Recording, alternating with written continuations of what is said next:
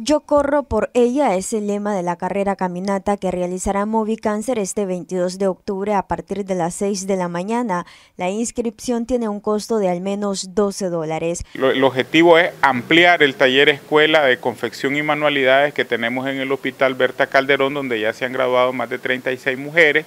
Y estas mujeres que viven con cáncer, cuando son graduadas, cuando son capacitadas, cuando llegan a desarrollar habilidades y destrezas, eso les permite seguir siendo económicamente activas mientras logran culminar el tratamiento y alcanzar el camino a la recuperación. ¿Cuándo va a ser la carrera? Yo corro por ellas de este año, el domingo 22 de octubre a partir de las 6 de la mañana en la plaza central de Metrocentro va a ser una carrera donde ya sabemos que son miles de nicaragüenses los que corren, los que caminan, pero siempre la terminan. Y eso es muy importante. La sobreviviente de cáncer hizo el llamado a las personas a apoyar la carrera caminata que tiene como fin recaudar fondos.